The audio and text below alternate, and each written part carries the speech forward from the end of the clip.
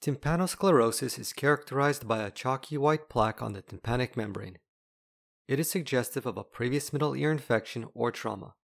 However, it may also occur following insertion of a tympanostomy tube, also known as a grommet.